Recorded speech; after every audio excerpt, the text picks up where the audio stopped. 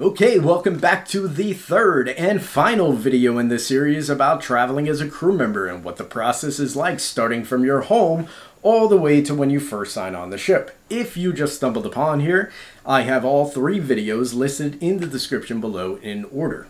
In the last video, we talked about getting from the airport to the hotel, getting your meal vouchers, and then how to do your reimbursements. In this last video, I'm going to be going over how to get from the hotel to the ship, dealing with customs, meeting with personnel, and then finally signing onto the ship for the first time.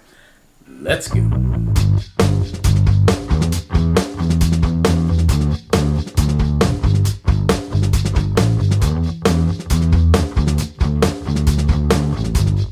Okay, so you wake up in the morning, you double check your room, you make sure you got everything, all your bags, and most importantly, your chargers, your cell phone and laptop chargers, the most forgotten item in a hotel room. Don't forget them.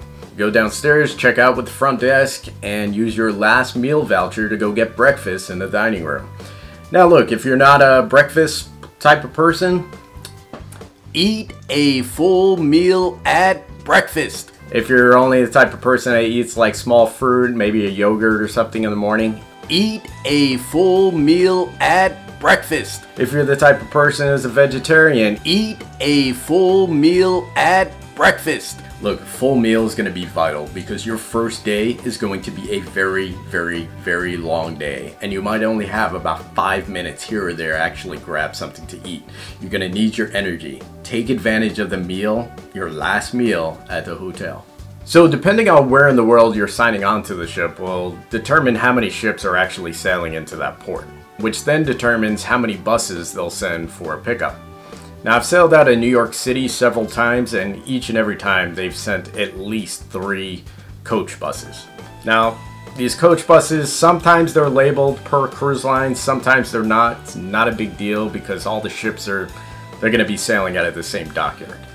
Once the driver's ready, they'll open up the jockeys, don't even think about it, just throw your bags below and jump on board. Depending on if you're leaving on a weekday or a weekend, it could take anywhere from about 30 minutes to an hour. Lay back, take a nap, listen to music, do whatever you gotta do, but this will be your last time to relax for the next week or two. So for this last part, I'll use the example of the cruise terminal in New York City since I've gone through it multiple times. So what's going to happen is the bus is going to drop you off about a tenth of a mile from where you need to be. Just go back below, grab your bags, and uh, just start following the crowd. Make a friend on the bus, preferably someone who's signing on to the same ship as you are.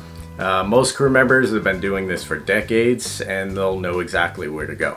Basically what you're looking for is a big truck tunnel. You'll see a lot of guests that are leaving the ship as well as a lot of guests that are coming on board and they'll be using an elevator to go into the customs area there you as a crew member have the wonderful luxury of waiting in the smelly truck tunnel. And if it's winter, have fun.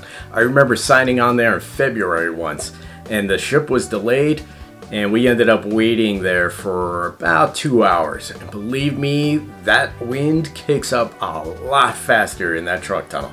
While you're here, you're gonna wanna have your medical and your passport ready to hand in to the personnel manager.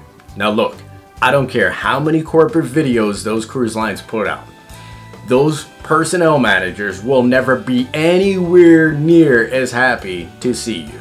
Embarkation is their worst upon worst days. They're stressed, they're grumpy, and most will be straight up assholes to you. Depending on how many crew members you're signing on with that day, they'll probably just check you off with uh, groups of 10 to 12 where you'll walk further into the truck tunnel. You'll take all of your bags, your check bags, your carry-on bags, your purses, everything, and you'll put them down on a yellow line. They'll, you'll then be uh, ordered to stand against a wall about 10 feet away and a customs agent will come through with a dog and sniff all the bags. Now's the moment of truth on whether or not you can get that weed on board. Seriously, don't try it. Now at this point, you'll grab all your belongings and the personnel manager will guide you through the rest of the truck tunnel, all the way through to the gangway until you finally board the ship. Alright, so I got another video coming up about what it's going to be like your first day on board. If I already have it uploaded, you can click right here and go straight to it. If not, go ahead and click over here and subscribe, and this way you can be notified once it becomes available. See you soon.